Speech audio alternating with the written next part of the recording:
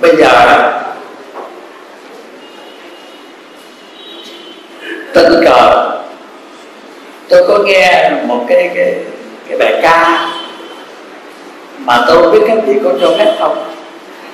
Cái bài ca này, dù là nó khác giới nó khác ngành khác nghề, mà nếu tôi có thì giờ đó tôi chuyển cái lời nó qua trong cái hoàn cảnh, cái môi trường của tôi đang là gần như không khác.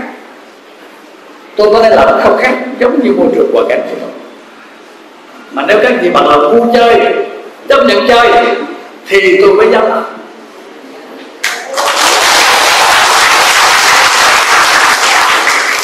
Bởi vì tôi có cái tâm sự hơi giống giống, mặc dù là ngành khác, nghề khác, cái gì, cho phép vào rồi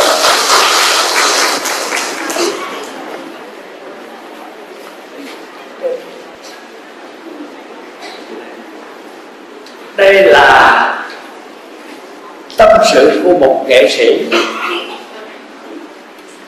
Nghệ sĩ này có lẽ là nhỏ nhỏ hơn tôi đâu chừng 6 tuổi ta cỡ 6 tuổi.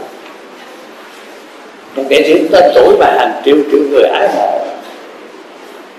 Nhưng mà nghệ sĩ này cuộc đời của y tới đây đó y chấm dứt à, diễn đàn sân khấu là 50 năm cũng có gặp thanh trầm lên xuống, cũng có thương, cũng có buồn, cũng có ưu tư. Rồi, sau 50 năm đó, cái giả từ sân khấu, có cái bạn giả từ sân khấu. Còn tôi đến với các vị của hôm nay tôi không dám nói như vậy, bởi vì tôi đâu có sân khấu.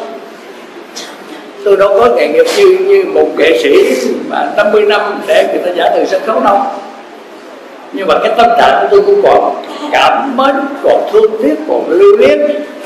Nhưng mà cái lưu luyến của tôi nó khác hơn cái nghệ sĩ này.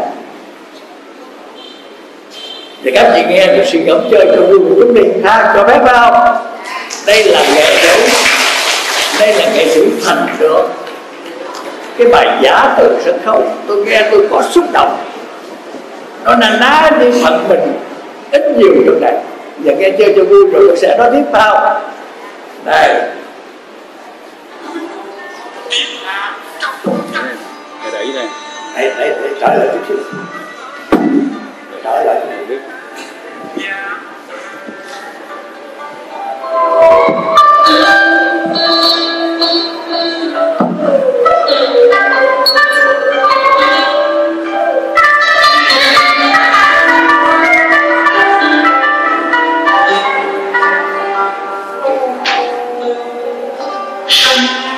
không về quê giống mà làm gì thuyền ra cửa biển vượt sông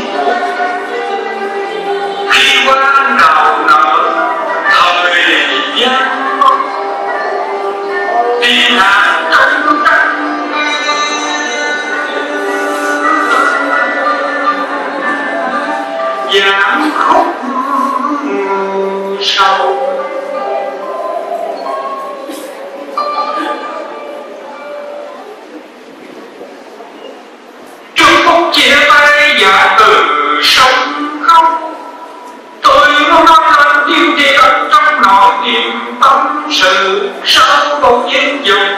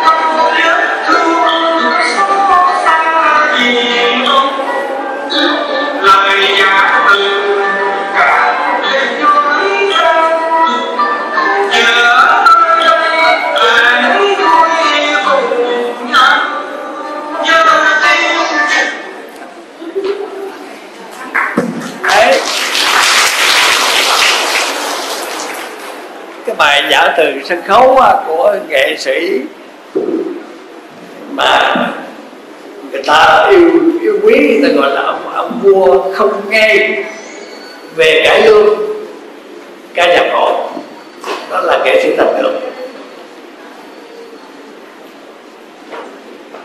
50 năm lưu diễn là đây mấy đó ăn gạo chợ nước sông đó là cái lời đã nói nhún nhường vậy thôi, chứ thành được đi xe hơi kiểu này có kiểu khác. Còn tôi thì không có ăn gạo chợ nước sông vậy. Nhưng mà có khi ghé quán ăn cơm quán ngủ, ăn cơm chùa có nhưng mà cái ưu ái của thật của của nghệ sĩ thì được giờ còn nhớ nhớ bạn, nhớ đạo diễn, nhớ đồng, nhớ kèm, nhớ sân khấu, nhớ